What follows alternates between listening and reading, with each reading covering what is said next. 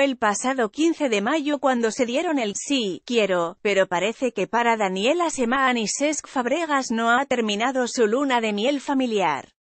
El matrimonio se ha escapado de nuevo a un lugar de ensueño acompañado de sus hijos quienes están disfrutando al máximo de la isla griega de Mykonos.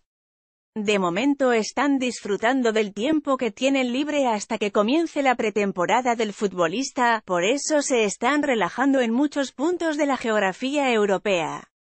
Los cinco hijos de la libanesa, tres ellos son en común con el jugador de fútbol, han estado con ellos en este último destino. No nos podemos desmarcar de estos pequeñajos, ni en nuestra luna de miel, escribía Sesk como pie de foto en una de las fotografías. Can't get anywhere without these monkeys. Evening our honeymoon, no nos podemos desmarcar de estos pequeñajos ni en nuestra luna de miel, una publicación compartida de Sesc Fabregas, arroba CSTC 4 Bregas, el 5 de julio, 2018 a las 3 pdt para este viaje se trasladaron hasta la isla en jet privado desde Mónaco, donde estuvieron pasando otros románticos días entre lujos y playas de ensueño. Aunque estén presentes los niños, han sabido encontrar momentos para disfrutar a solas de los parajes más emblemáticos de sus destinos. Ninguno de los dos ha tenido problemas en compartir su amor a través de las redes sociales, donde presumen tanto de eso como de familia siempre que pueden.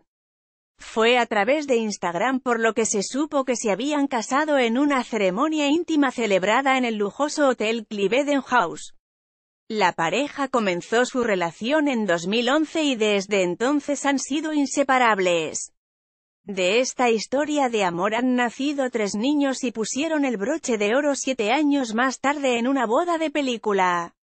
Para el matrimonio, como vienen demostrando, su familia es lo más importante y por eso intentan estar siempre juntos en cualquier lugar del mundo. Más que felices, siguen tan enamorados como el primer día y el futbolista escribía tras la boda, me he casado con la mujer de mis sueños.